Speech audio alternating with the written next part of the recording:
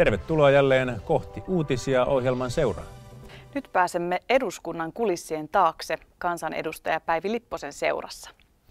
Hän on ensimmäisen kauden puoluevaikuttaja Arkadian mäellä ja hän kertoo meille muun muassa joulunvietosta, lapsistaan ja tietysti kansanedustajan työstä. Toimittajamme Tomi Lindblom tapasi hänet juuri vuodenvaihteen kiireiden keskellä. Päivi Lipposen ensimmäinen edustajakausi on nyt puolivälissä.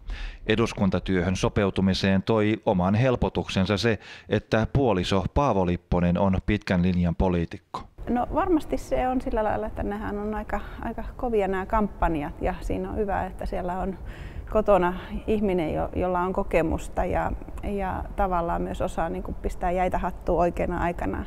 Koska se olisi kaikista kauheinta, että kotona pistettäisiin vaan kaasua peliin ja sitten se lähtisi lentoon koko kampanja. Mutta että, että se on ollut hienoa ja sitten on meillä ollut tosi hieno asia se, että mieheni on ottanut enemmän vastuuta kotiasioista, koska kaksi aktiivipoliitikkoa samassa perheessä ja on pienet lapset, niin se voisi olla vähän turha haasteellista sitten. Lipposen erikoisalana politiikassa ovat olleet muun muassa lasten sosiaaliset ongelmat.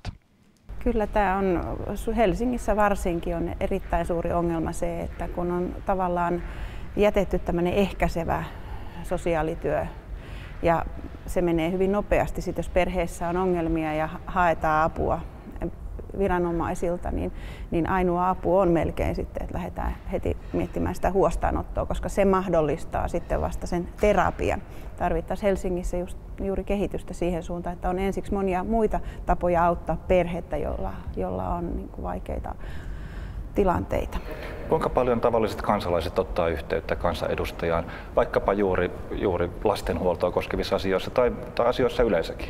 Minulla on ollut sellainen aika jännä piirre tässä minun työssä, että kun joka puolelta Suomea otetaan yhteyttä, että ei, ei pelkästään Helsingistä. Ja olen yrittänyt kovasti heille sanoa sitten, että, että ottakaa paikallisiin päättäjiin, paikallisiin kunnallispoliitikkoihin yhteyttä. Että he on niin paljon parempia asiantuntijoita juuri näissä paikallisissa asioissa, mutta he vaan sitten kokee, että kun he tuntee Päivi Lipposen, niin sitten kun soitetaan eduskuntaan, niin soitetaan Päivi Lipposelle.